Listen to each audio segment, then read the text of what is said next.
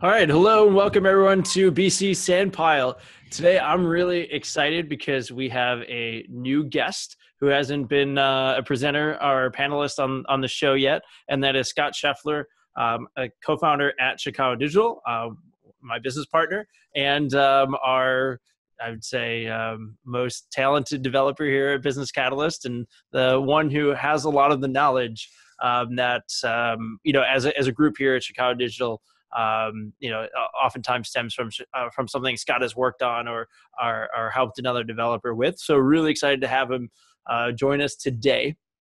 And uh, the reason why we don't uh, see Dave with us today is although he is Canadian and doesn't celebrate um, American Thanksgiving, he's taking off for his own, I guess, uh, Thanksgiving or family time, whatever it may be. And so um, Scott's filling in. And and speaking of Thanksgiving, and we all know that Black Friday is a is a big shopping day. Cyber Monday also a big shopping day around that Thanksgiving time, and and so uh, Thrize, uh, one of the developers for the on the BC Apps store, is going to be having a really big sale uh, all weekend long, and there'll be some details being sent out uh, via email. But I I believe Thursday at midnight.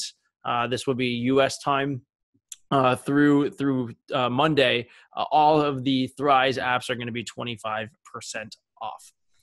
Awesome. So for some other industry news, uh, we have. Let me go ahead and share my screen here with you quick. Oh man. Usually Dave shares his screen. There we go. Cool. So you guys can see BC Academy. Awesome. Um, so speaking of Dave, uh, Dave has a new tutorial on BC Academy talking about how to build responsive blog layouts.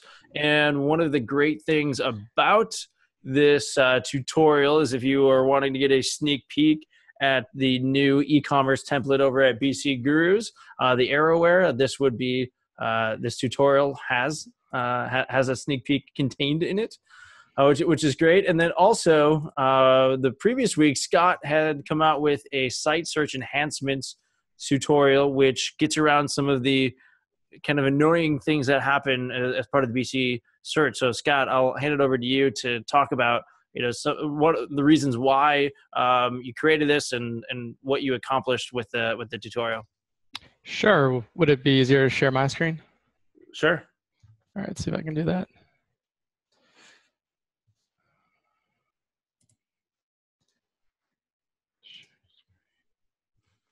I don't know which screen. Can you see uh, the IACC website? No, the. Chicago Digital background. Okay, wrong monitor. All right, how about that? Yep. All right, so this is one of our sites that just has the regular search results implemented. Um, and you'll notice that if I click on like one of these, it kind of takes us to this default ASPX with um, some parameters appended. So first off, that's not really a very clean URL, especially if someone wants to maybe then search and then share this URL with somebody else. Um, so some of the enhancements that we made are, we'll take a look at the Brain Injury Association of America site. Um, is that first off, we have clean URLs when you perform a site search. So if I do a search, let's just do brain injury um, you'll notice that uh, if I click on a page, it actually takes me to a clean URL. Um, and then another thing is you'll notice that we have some labels on our search results as well. So it tells me that it's a page or that it's a part of the web app media center um, or it's part of the web app called public policy. So it just gives a little bit more information to the user as well. And then another big thing is too, I don't know if a lot of you have come across this, but if you have liquid on your pages, um, and it's like the first thing on your page, then search results in BC are showing that raw liquid code. So this is a bug that BC is aware of. I don't know when it's going to get fixed, um, but this um, tutorial shows you a workaround to get rid of that liquid markup in the search results. Um, so check out that tutorial uh, if you want to learn more. Awesome. Thanks, Scott.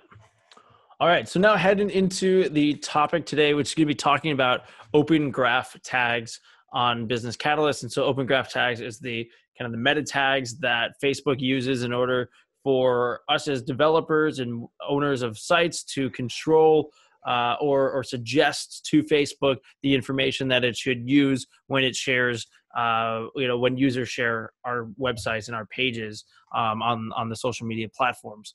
Uh, the conversation today will also extend into, you know, Twitter cards and also schema.org markup in general, because all of these things have to do with the concept of providing additional metadata to a third party so that they can better understand and and present our information. So to to get started with it, I just I'll present a, a question to Scott, and that is, um, you know, what what do you find to be kind of the most challenging part of of working with these tags on on Business Catalyst uh, websites? Um, I I don't know if there's necessarily anything challenging. I feel like there's the most challenging maybe is you know where to place them. Um, you know, in web app detail layouts, uh, and there's some, you know, I think on product detail layouts, you need to wrap it in like a in the head elements, otherwise it won't get pushed up to the top of the page. So I think kind of just once you learn some of those little, you know, tweaks that you need to make in BC, um, I, I think that's pretty much the only challenging thing. There are some times where if you need to run if conditional logic with liquid, you know, maybe you, you want to detect if there is an image, if not, fall back to another image. You, you actually can't wrap liquid around meta tags. You have to do it within the content parameter. So there's just some things like that that kind of just have to get used to. Got it. Um, to me, I think one of the biggest challenges with uh, with these tags and business catalyst is is not with web apps because I think you're right. Web apps is you know maybe there's some nuances to it or you know some things you got to figure out, but it's it's fairly straightforward to understand. We're going to add some, maybe some custom fields, and the customer can put in that, and define that information, and we can put in some fallbacks. But for regular web pages, there's not an interface for the client to actually put that information in.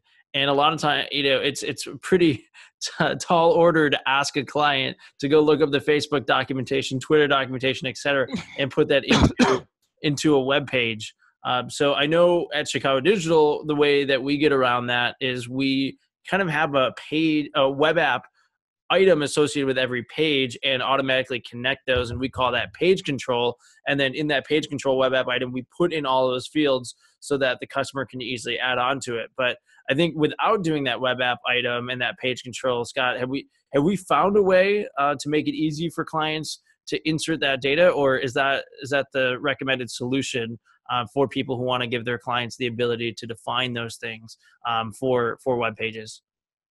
Yeah, I, I, think page control or something similar to that is probably your best bet.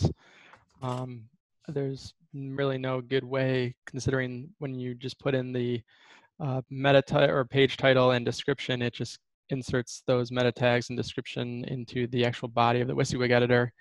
Um, so you really don't have much control that I could think of. I mean, perhaps, um, yeah. So probably a web app is the best route. Okay, great. And then just for for those out there that aren't familiar with page control, think about it as a in in the simplest sense is just a web app item with the same exact name as the page and using Liquid to match that item and then to pull data from the web app into the page to get around the limitation of only having like one fields to be able to put information um, for business catalyst pages. So it definitely takes a little bit more to set up. Uh, you know, we we've provided some various trainings, I believe, on on how to make that even easier um, and kind of plug and play. But that, I mean, that's really the solution that we found in order order to to make that something that the client can actually update. Awesome. So Scott, when let's talk about Facebook Open Graph uh, in particular. What if someone's going to look to implement this on on their site um, what are are there any tools out there um, that can help a developer to understand how to like how, how to even go about installing this on on the website? Um i mean just a simple google search for open graph p- protocol. I, I mean this is this is one good out, good one. I'll just post or paste into the the chat window. Um, I mean, that gives you a bunch of the different uh, open graph tags. Um, and then, you know, using the Facebook debugger um, is always good too, once you get those tags in there, just to make sure that um, the content is showing up correctly and that there's no errors. Um, and then another good thing to know about the debugger is I think it like clears the, kind of like the cache, I would say, of these um, open graph tags. Sometimes um, Facebook will cache them like an like like the page without an image or without the title or description, and then you kind of have to um, come in here and, and, put in that URL, and then it kind of caches or clears that cache, and then you can actually see the the new image or the new the title or description. Got so. it. So you can force Facebook to re-index to recache uh, the the page, right? Yeah, correct. Got it. Because I know this has come up a couple times with with clients where we tell them, all right, you know, you, got, you have this ability to go in and put this image and update the title and things like that, and they go and they do that right away. You know, even if the site's live and they update the information and they go to share it right away on Facebook and be like, it's not working properly. And then we've got to coach them into saying, okay, Facebook can't crawl every website across, you know, the you know, it doesn't pull all that like the exact second that you update it and every time someone shares with it because that's a lot of extra uh, kind of load and, and, bandwidth, and so it keeps its own cache. And so, yeah, I, I don't know. Do we know what the the Facebook cache amount of time is, or uh, does it vary? Yeah, I don't. I don't know the answer to that. Got it. But I, I, have told clients in the past um, if they are really concerned about it or want to get that kind of announcement out right away, um, anyone can go to that Facebook uh, debugger tool and and put in the page and force uh, the you know Facebook to grab the latest bit of information um, from from the page. So that, that is helpful to let certain clients know about. Okay, great. So Scott, what about uh, what about Twitter? Any any good resources um, for implementing Twitter cards, uh, debuggers?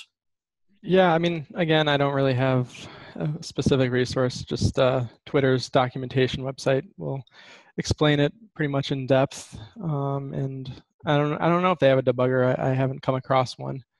Um, so yeah, I don't know. Okay, and then any any nuances with with Twitter that you've run across um, that you know, isn't obvious in, in the documentation in, in terms of implementing these? Like, if, for example, if you don't put in an image, does it just like not work at all? Honestly, I haven't done a, lot of testing with the Twitter tag, so I, I can't say one way or another. Um, yeah, I, I honestly maybe someone else out there in the community has done more testing with these twitter tags i kind of just put them in routinely but really haven't done a whole lot of testing or clients really haven't you know requested us to make sure that they uh, they're they're looking good and everything. So I don't know. Right, it, and I feel like Twitter these days isn't quite as popular anymore, or uh, said a different way, we don't really hear it um, from our clients as, much as we used to in terms of you know making making sure things um, are, are are easily tweetable and uh, and shareable via via Twitter. Um, not saying that it's not important. Uh, definitely, definitely still has its its place. Um, good. All right. So then, Scott, I don't know if you want to share your screen or uh, we can just talk to it. But you kind of mentioned before some of the the, the gotchas with implementing this on on Business Catalyst, uh, maybe such as you can't wrap liquid, you know, meta tags in liquid. Maybe you just want to start there and, and go into a little bit more detail on, on what that means for someone who has maybe not attempted this before and, and might run across this problem. Sure. Um, let me let me just find one uh, web app as an example. Good. And then um, Mary had has commented, I tried and failed to implement Twitter tags on a site. I'm sure we all have at some point for sure.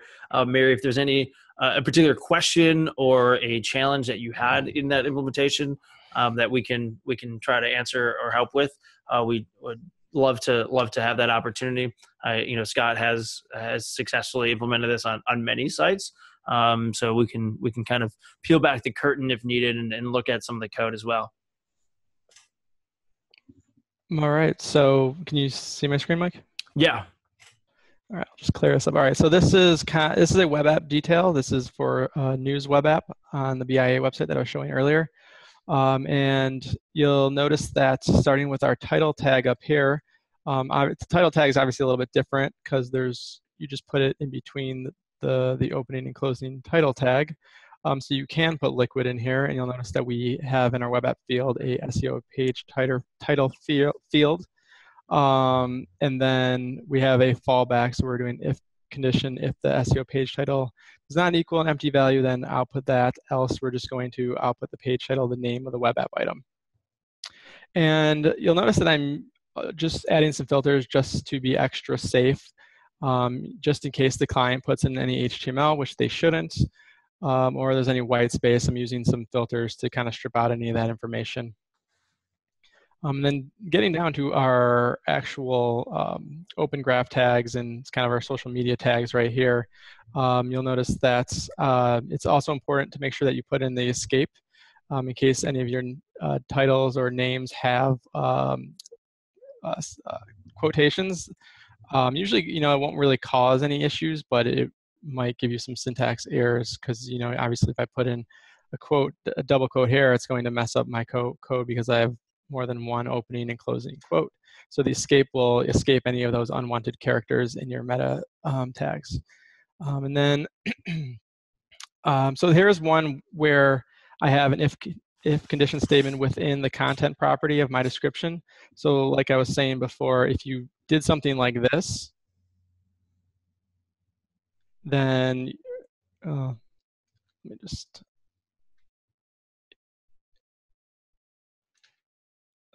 sorry, I'm trying to do this quickly. Then this is not this is not going to work because um, what basically BC render is, is like detects these tags and moves them up to the head of the body before um, any of this liquid is rendered. So it's important to make sure that you put this liquid within the content property. Um, and it might cause uh, some like warnings or your HTML markup, you might lose some of that color coding because it doesn't really like having that in there, but it still works. So just keep that in mind. And uh, Yes, and then again, you'll notice that we use fallbacks often. So if we have a, we supply the client with an SEO meta description, but if they don't put that in, then we'll fall back to a just using the description field, and then again applying some filters to make sure we're stripping out any HTML and you know truncating it and then escaping it to get rid of any unwanted characters. Great. Thanks for showing this, guy. And I want to highlight a, a couple things here for people. One is I, I love the the escape because that that just makes this more robust and you know sure that something's not going to break or you know we've got these weird characters that can be outputted um, in, in some of these areas. So I think that's that's really important to highlight, um, as you mentioned. Uh, the other thing is in this SEO meta description, you're stripping HTML and then stripping white space and escaping. So all three of those things combined, making sure that we really like we just have plain text output um, when we're when we're putting things in there, which is uh, which I think is really important as well. And then another thing to keep in mind, guys, is if you don't specify this for Facebook or Twitter, um, it's going to come up with what it thinks is the best. So if I tweet this entire page, it might pull the text at the top of the website that has nothing to really do with the page. Um, and it like it, it, it might not really be a great introductory text to get anyone excited about about clicking over to it. So what what Scott is showing here is some fallbacks, meaning, okay, we don't have to rely on the customer to give us the exact crafted uh, description that we need for Twitter and Facebook. Um, it's great if they do, but if they don't, we can come up, we can find what we think is going to be the best place to pull from. And we're going to know better than you know facebook or, or twitter necessarily you know, you know when they're just scanning the entire page. We'll know like okay this overview or this description or this caption whatever um, is is the most appropriate to use as as, as a fallback. Um, so I think that's another important point that I want to um, show here uh, as well. So I don't think we're using fallbacks um, for Facebook or Twitter. It doesn't look like, uh, but we are using it for the meta description. But Scott, uh, we'd be able to apply fallbacks to those descriptions if we wanted to, right, for Facebook and Twitter. Yeah, I think there was a specific reason on this site why we don't have a fallback on this one, but I, I can't I don't recall exactly why we aren't using a fallback in this situation, but we we definitely could. Okay, good. Yeah, good to know. And then we're also truncating as well because uh, Facebook likes a different character count than Twitter.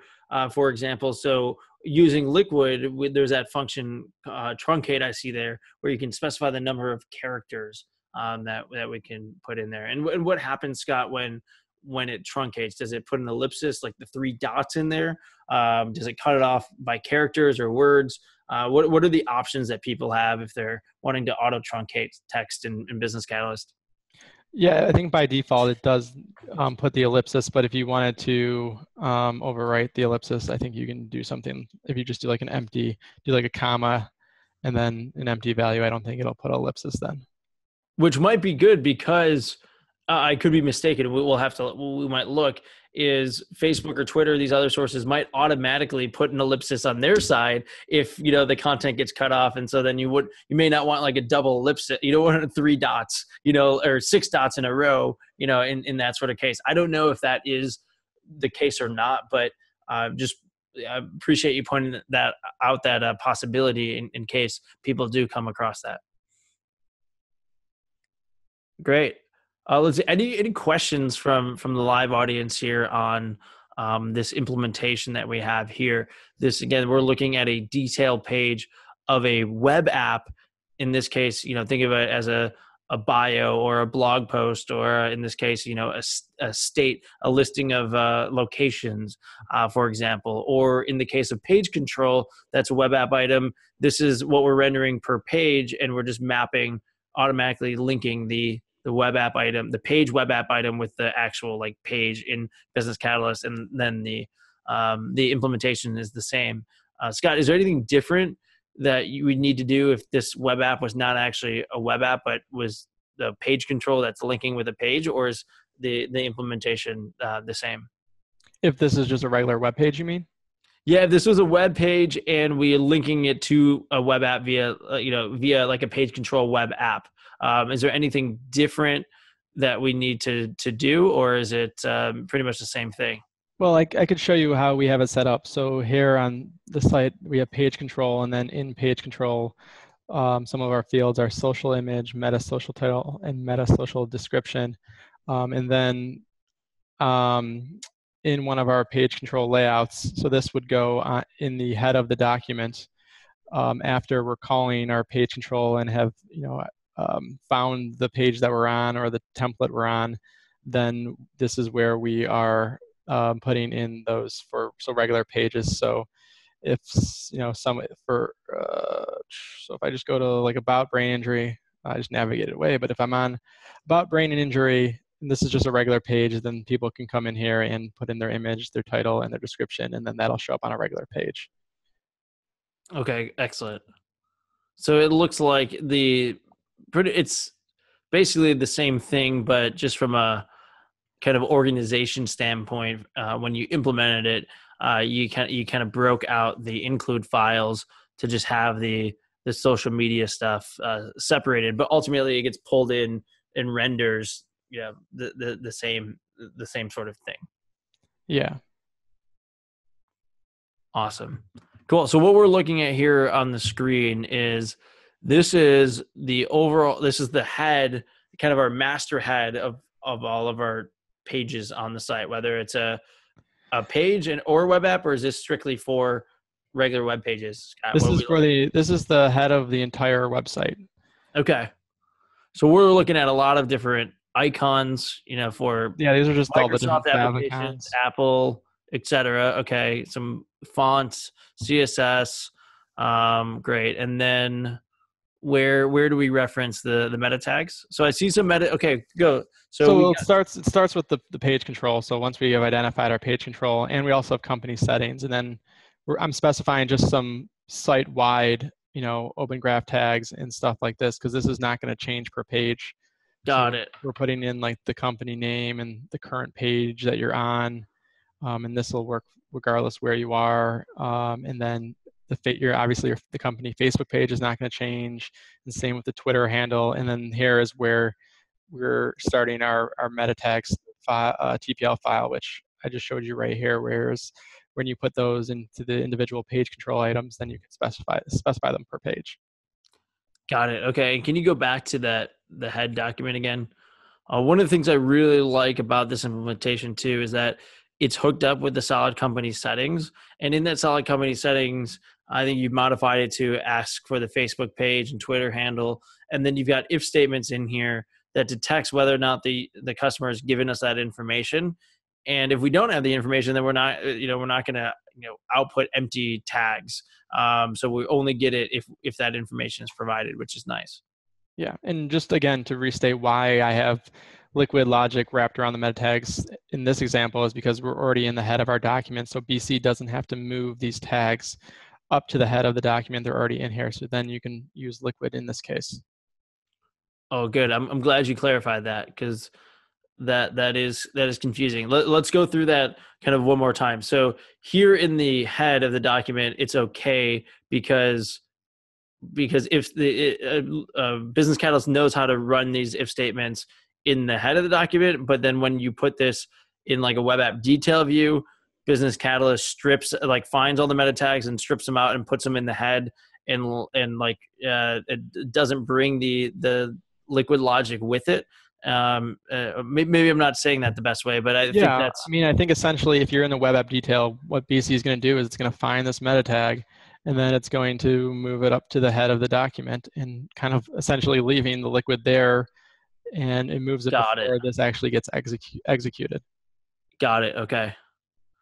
And we can't put we couldn't put that whole meta property into let's say a capture of liquid right? And out and then output that liquid variable because then business catalyst wouldn't detect that that liquid variable is a meta tag and therefore wouldn't place it into the head of the document. So we need we need those meta variables exposed kind of just naturally if we're ever placing it in a, a web app detail view in order for business catalyst to automatically pop it into the head of the document is that correct yeah okay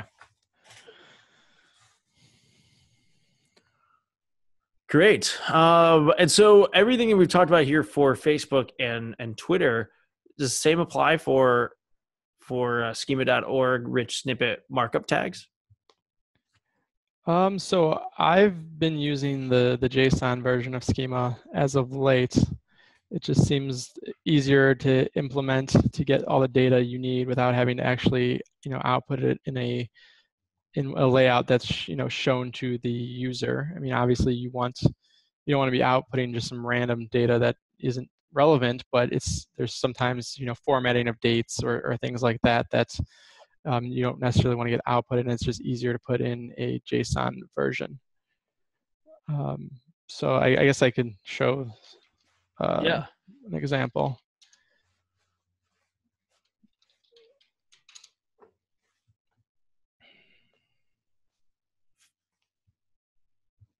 So this is a website we actually just took live today called Cleaning and Maintenance Management. They are a magazine uh, cleaning magazine publication site, um, and they have a lot of articles, and they put out a magazine um, every month or so. I think I'm not really sure.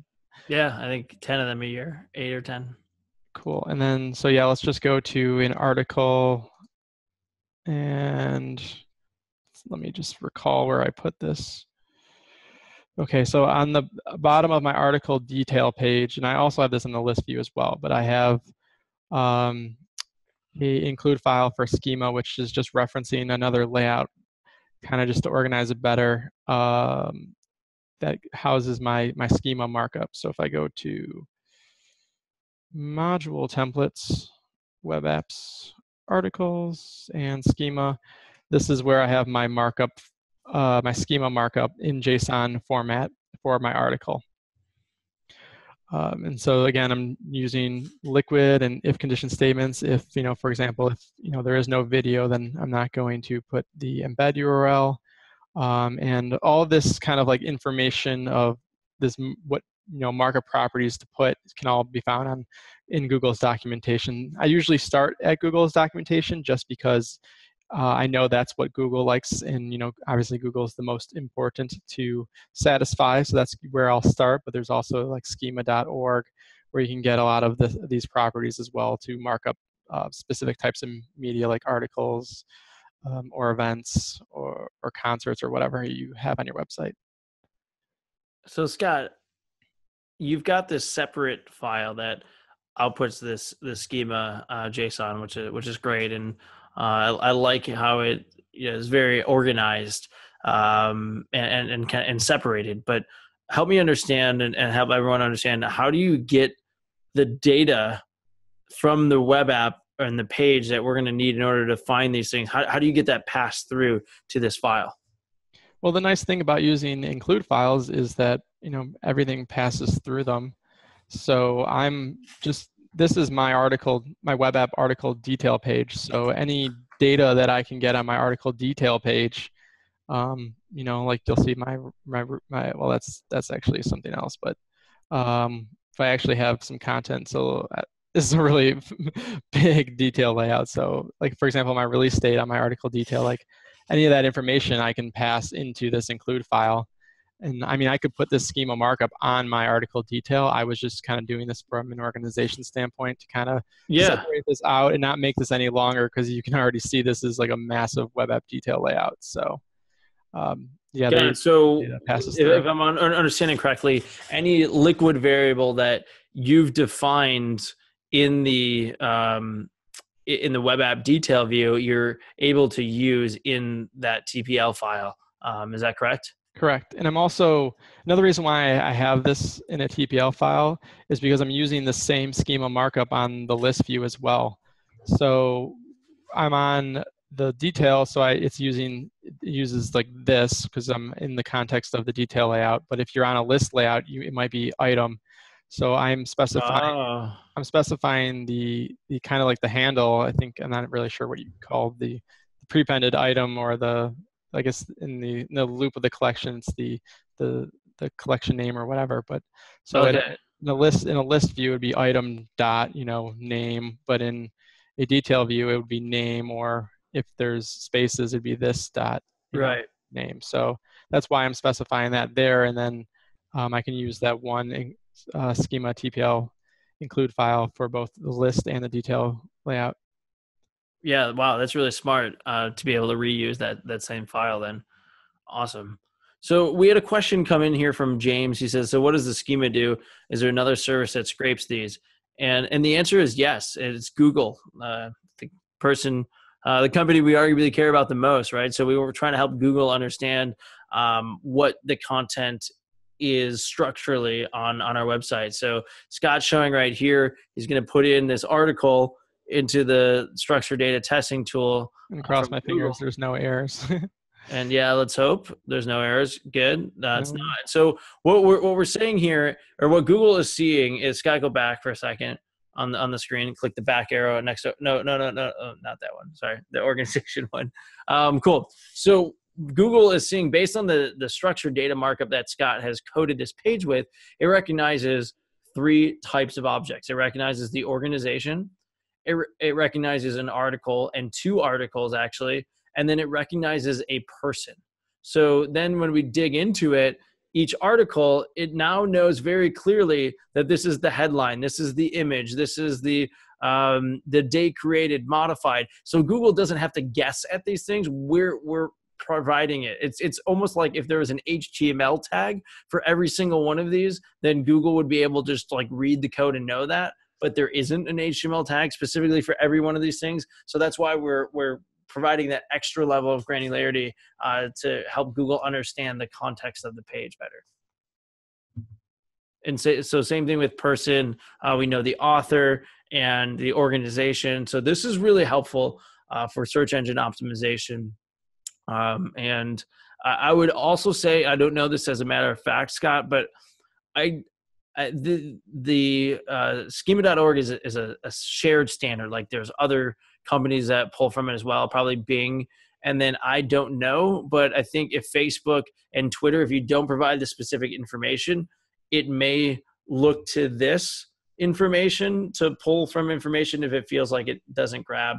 If there's not, you know, so, something obvious that it should grab from on the page. But I'm not I'm not very confident about that Facebook or, or Twitter part. Scott, do you know if in, if we didn't include the open graph and the twitter cards if those sources would would pull from this data at all uh, I, I don't know if i don't i wouldn't think so but i'm not sure I mean, obviously, other search engines or other services might read schema, but I'm not sure if, if Facebook is, uses it as a fallback um, if the open graph tags are not supplied. I'm not sure. Great. So I don't know if there's any other questions uh, from from the live audience here. Um, it could be related to to these topics that we that we've discussed. Uh, we can dig in deeper, show some more examples, uh, or if there's other kind of questions that generally relate to this topic, we're we're happy to uh, to field them as well. And if anyone has any um, input or kind of learning lessons or advice or um, knowledge uh, related to the topic they'd like to share with everyone, um, by all means, we'd we'd love to we'd love to share that with everyone.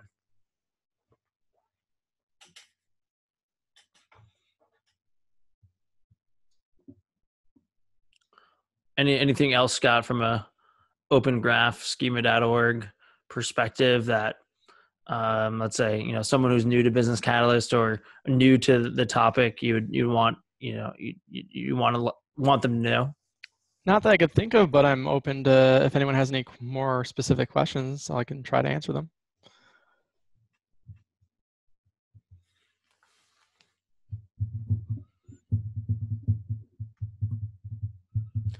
So I get another question for you, Scott, uh, as as people are, are coming up with questions, and and that is, you know, how how long roughly do you think this this adds to a project? And of course, it varies depending on the size and complexity. But is this a is this a pretty straightforward, you know, kind of simple task, or is this something that is is pretty involved and, and takes a lot of time and, and expertise? Kind of, what's your gauge of that if someone's thinking about maybe incorporating this into a project? I mean, just open graph tags specifically, or yeah, schema, or just schema. You can take them kind of one by one because I think open graph is probably simpler than than schema. But I'll, I'll kind of let you um, give your input on that. I mean, it's it's hard to give an answer on that just because you know you know just based on what I demoed, like you'll see there's just so many variables and so many things to account for. So I mean, it all adds up to being a lot of time. But I mean, you know, if you're just going to get granular and ask how long it takes to, you know, add those meta tags to web app details, I mean, maybe, I mean, if you have, a, you know, save snippets and you're getting a routine of doing it, not that much time, but, you know, it could add, you know, an additional 10 minutes per web app I would maybe say uh, it's it's really hard to give an answer on that. I guess. Sure, and do you think it's something that a uh, kind of a, a, junior developer is able to take care of, or more of a senior developer role, or maybe you're maybe not even a developer, maybe just a marketing person that understands a little bit of coding. Yeah, I mean, I'm always a little concerned about giving anyone access to web app list layouts or detail layouts to add some of this, but I mean, there's really nothing difficult about adding it as long as you you know you, you know the the syntax and you have the the markup that you want to use and know um, how to use liquid to to do the fallbacks. Um, it's rather straightforward. Got it. So if if you've done it once, right, and then you want to put it onto another site or another web app, um, it was is is this an oversimplification in saying that you just kind of copy your reference and then go and, and change out the variables to associate it with the the new the new web app? So you know if a team got their kind of code set, then they should be able to hand it off to maybe some uh, more junior developers to implement um, and kind of change out variables. Or is that is that oversimplifying it? And there's there's there's more to it. Well, I mean, we pretty much stick with the same tags for every site, such as you know the Open Graph title tag, Open Graph description, an image, and same with the Twitter card. So it's pretty much copy and paste from web app to web app or from site to site. If you know the client has uh, you know, if the client is has like events or concerts, I know there's a lot of other open graph tags such as like or music playlists or you can where you can put in like the song that of the music uh, or the album so i mean if there's specific requirements like that then there's a lot of other tags but um, we keep it pretty straightforward unless there's a specific client request got it that makes sense and there was a, a question here that says there's a lot to take on board. Do you have to cover every bit of data, or are there any key things not to miss? And so I, I think the schema.org is, does outline what is required.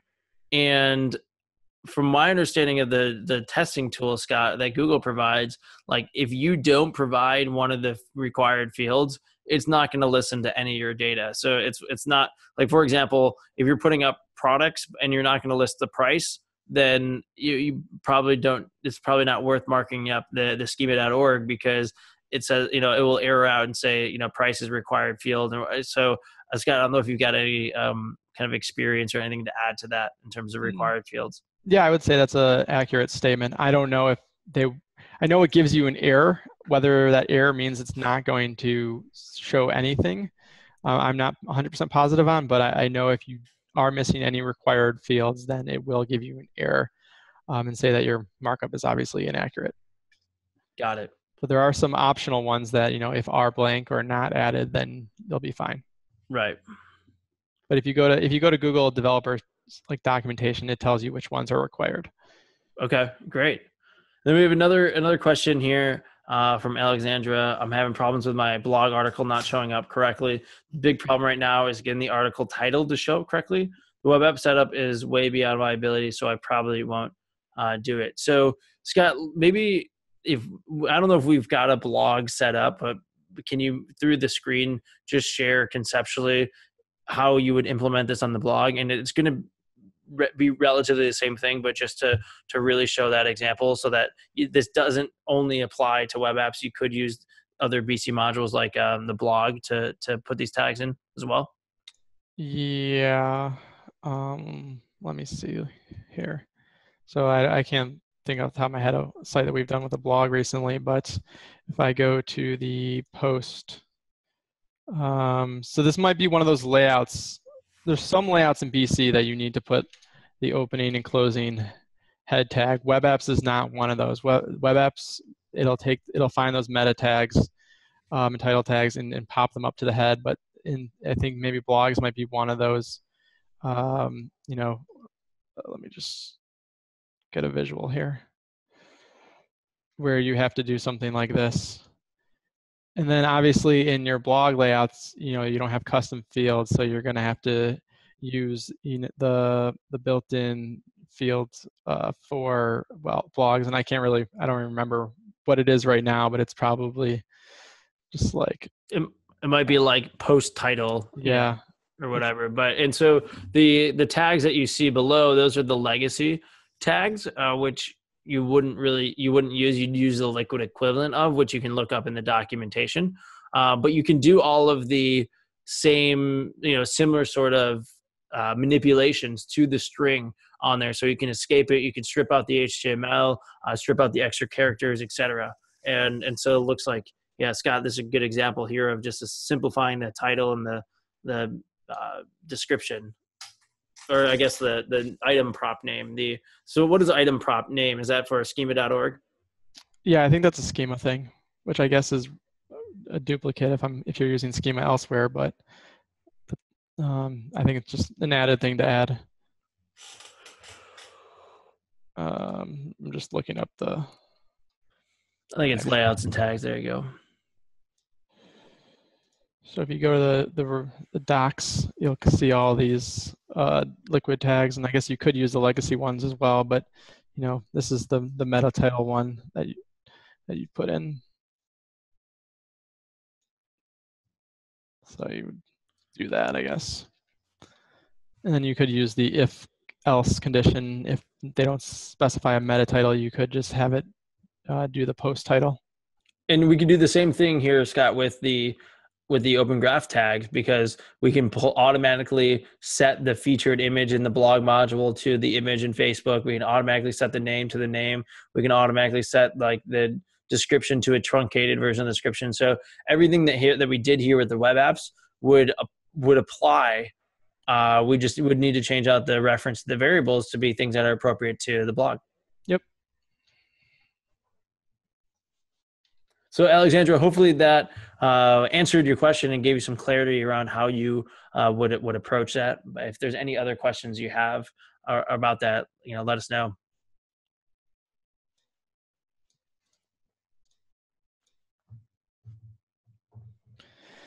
A, a, similar question for you, Scott. What is your current favorite sharing tool to install on websites. So if like you want a easy widget uh, a way for visitors to share the page on Facebook or Twitter or, or whatever, uh, Google Plus if anyone does that anymore. Uh, what, what's your what's your go-to tool for that? Yeah, I've been using AddThis lately. Um, they've made a lot of updates as of recent and really improved um, kind of the types of configurations you can do and the look of the social media and sharing buttons. Um, you can do your own custom ones um, as well. So there's there's a lot of uh, configuration you can do with those. So I've been liking that a lot. Great.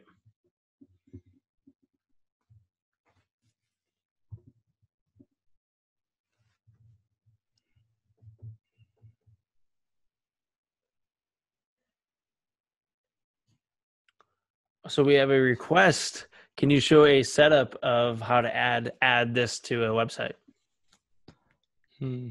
What, Mike? Can you recall website that we have this on? I don't even know. You know better than I do. Um, Deli Direct, maybe. Oh, actually, hold on. I think I can show like a custom example on yeah, BIA. member should have it on the article detail pages. I would think. Hmm. So this is a, a custom version of AddThis. Oh, I'm not sharing my screen, am I? Not yet, no.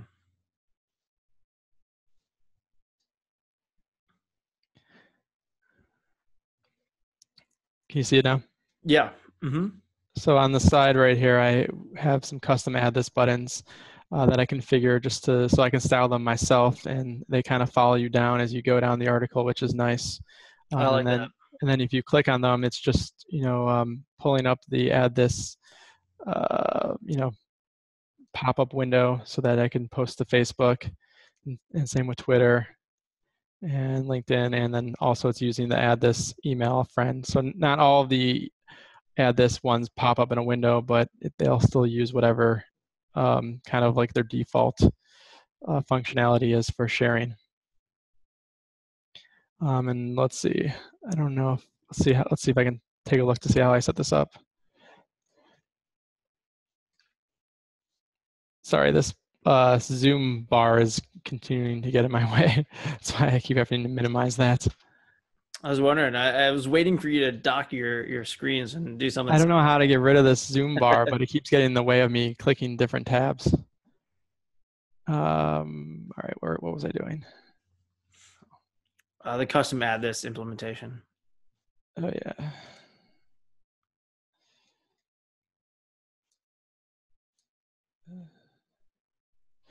So here I have my sharing buttons, which is just my own custom markup. And then you can just append the class name to these things to kind of initiate or trigger that AddThis functionality for Facebook, Twitter, LinkedIn, email.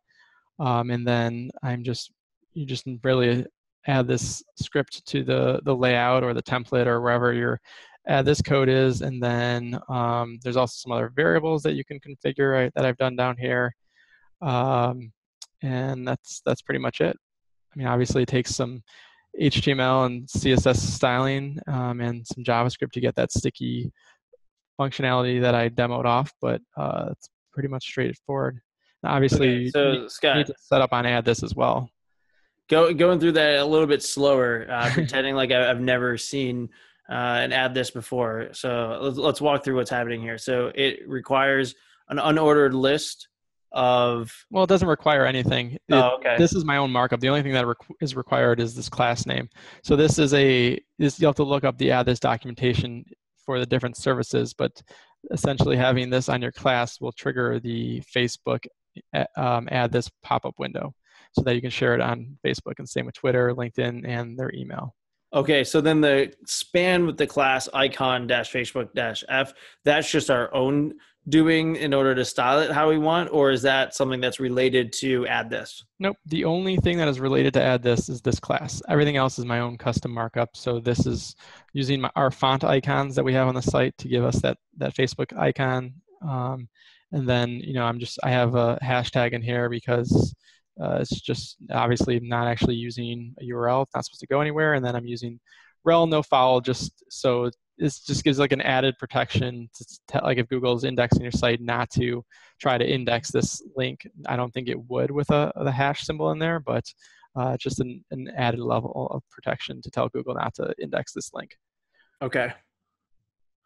Great. And do you have to have that href equals uh, a hash sign, or is that? Um... Well, for proper, I think for proper markup.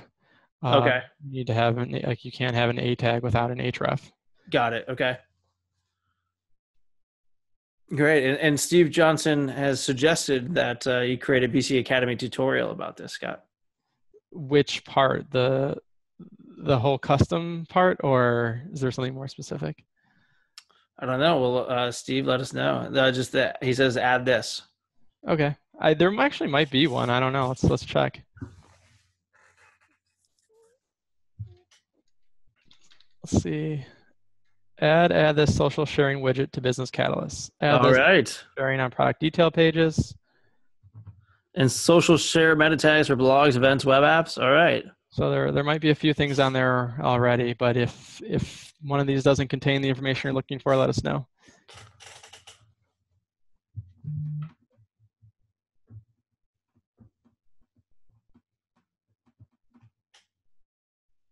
Cool. I like this homepage. Mm-hmm.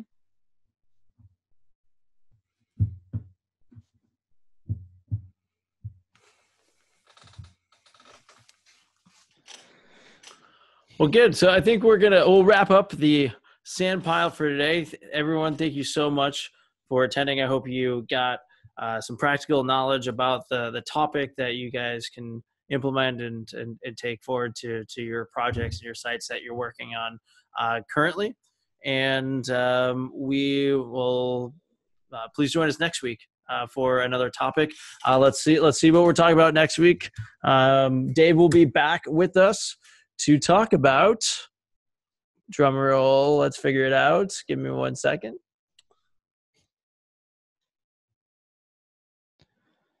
A B page testing. Wow, what a topic! That's going to be fantastic.